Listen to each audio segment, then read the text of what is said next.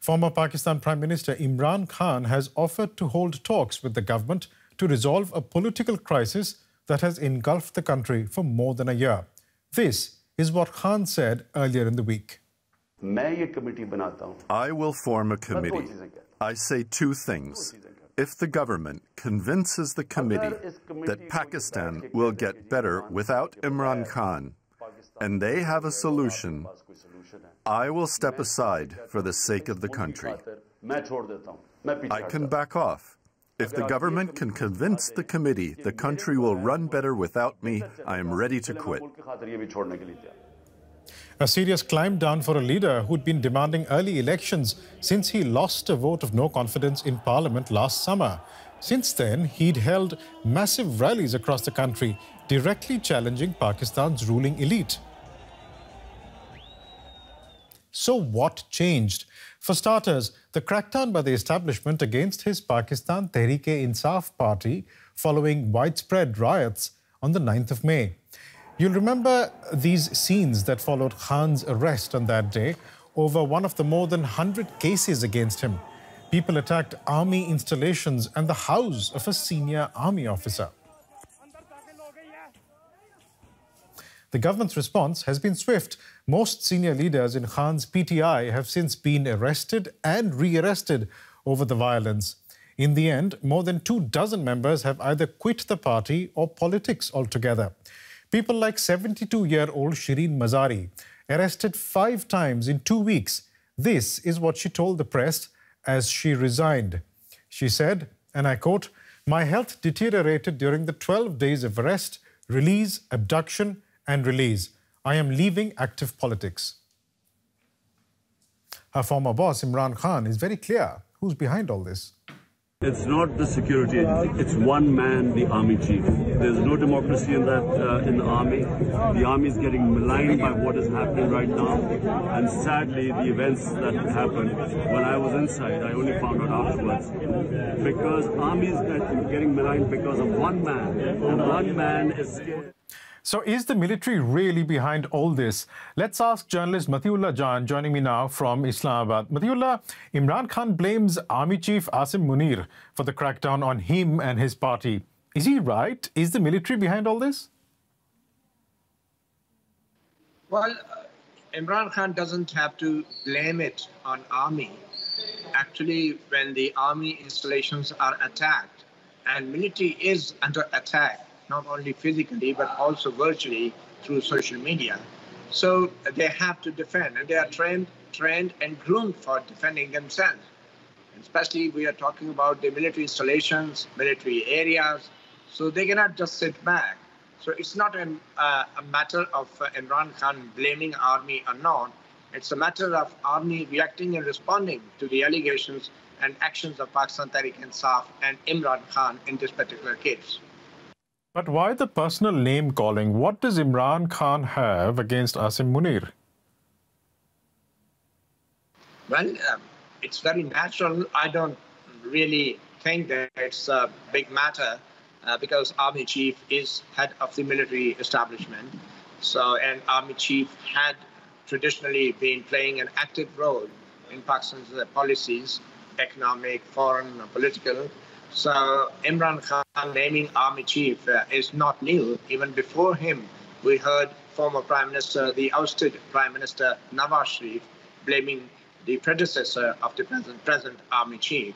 So because of a particular history that Pakistan has for the last 75 years, with three declared martial laws and many others undeclared, so I don't find anything uh, really new or surprising when a politician names an army chief for whatever is happening in countries like Pakistan.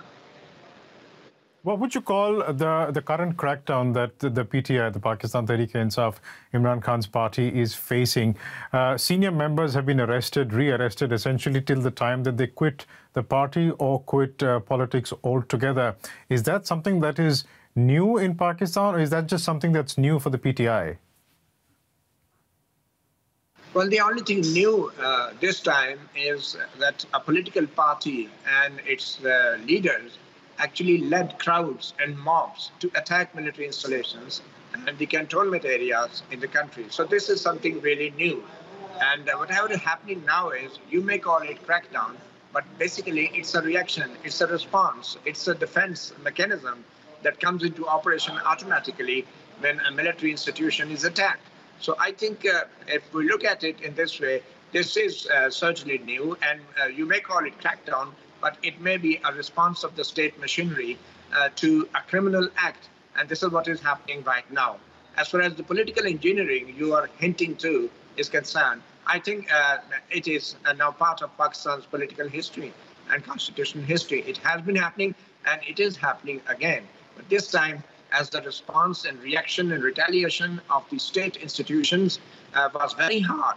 So it was but natural for many politicians to succumb to the pressures and tensions and tortures that, uh, they were going through mentally. Uh, and therefore, I think many of them had to leave their party because they also had to protect their political career. So uh, we could see uh, that politically, Imran Khan and PTI has damaged itself a lot uh, in public perception and by attacking the military, which many people see as the ultimate savior of the country. Is that how the military is also being viewed currently, given that it is trying civilians associated with the May 9 violence in military courts, despite the UN and other NGOs criticizing the move? I mean, does uh, uh, the Pakistan military care about international criticism or even domestic criticism? Well, there will always be criticism for the military uh, to try civilians, and I have been among many of those rights activists and media persons who have been opposing such military trials and military court proceedings against the civilians, including journalists. Uh, but frankly speaking, uh, this law that we call as Pakistan Army Act is inherited from the British, British colonial army, uh, which was created for this uh, colony of India. And this law continues to be on the statute books. And uh, this time, there are no new or separate military courts being established like it was done a few years ago when the Army Public School Peshawar was attacked and 150 teachers and young students were butchered. So uh, that, those are the military courts established through a constitutional amendment. But this time, only some provisions of the existing Pakistan Army Act have been activated uh, to proceed as per the Army Act against some of the civilians because they entered into the territorial jurisdiction of the military and the armed forces and actually attacked the military installation. So therefore, the civilians actually stepped into the Army Act rather than this being the other way around. We'll leave it there for the time being. Thanks so much for that context, Matiullah Jan. The military, however, isn't alone in acting against Imran Khan. It has the government's support. This is what the defense minister had to say. Khwaja Asif said, and I quote, the government is considering banning the PTI for attacking the very foundations of the state. For more, I'm joined by my colleague, DW reporter Binish Javed. Binish, welcome. The government seems to be talking the military's language. Why is that? Biresh, because they have to look out for themselves.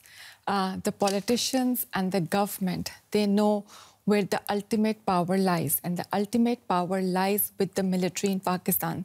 So if you're a politician and if you want to remain in power, or if you want to come in power, you know it's not so easy without the support of the military. And also, if you want to eliminate your political opponents, um, there's a thinking that it might be easy if you're supporting the military. So I think um, the government, it is basically a fight for survival. And even Imran Khan, um, who is now having this tussle with the military, he came into power, his rivals say, with the backing of the government. So I think there's an understanding that if you want to continue have the backing of the military, you have to support uh, and their decisions and even undemocratic decisions, such as considering banning a political party or approving military courts. But correct me if I'm wrong, there are parties in this current ruling dispensation, in this current government, that have themselves had bad experiences with the military in the past, haven't they? Yes. So I'll give you an example of Benazir Bhutto. Um, she has been Pakistan's prime minister twice. She was assassinated in 2007, but she's mother of Pakistan's current foreign minister, uh, uh, Bilawal Bhutto. And uh, during her uh, political career, she had fallout with military multiple times. So she was twice deposed as PM, and it's widely considered that it happened uh, because um, uh, the military played a role in her ouster. Um, and her father, Zulfikar Ali Bhutto, who was prime minister in 1970s. Um, he was deposed as PM and then hanged by a military dictator, General Zia and not only the Bhutto uh, party, but if you look at Sharif party, so Nawaz Sharif, who has been Pakistan's prime minister thrice, he also had a fallout with military throughout his career. And once one of his government was overthrown in a military coup um, in 1999, and then General Pervez Musharraf took over. Uh, so politicians know that if they uh, if they want to remain in power, um, it's very difficult to oppose uh, men in uniform. And Nawaz Sharif, the brother of the current serving Prime yes. Minister Shehbaz Sharif. I mean, this is just... It, it, all of this is a part of Pakistan's history, and I therefore wonder if there is a way to break out of this cycle of military control. It is a very difficult question. There is no easy solution. But if you speak to analysts in Pakistan or international commentators, they say that if politicians can come together, if they can talk out their differences, and if there's a political consensus um, that democracy has to be protected in Pakistan, there could be a solution to the current crisis. And also, um, they also believe that Pakistan should have free and fair elections according to the constitution, which means in October uh, Pakistan should have elections. Um, but so far, the situation looks, uh, the, is the, the political crisis makes the situation very unpredictable. Binish, we'll have to leave it there for the time being, but thanks so much for coming into the studio and breaking that down for us.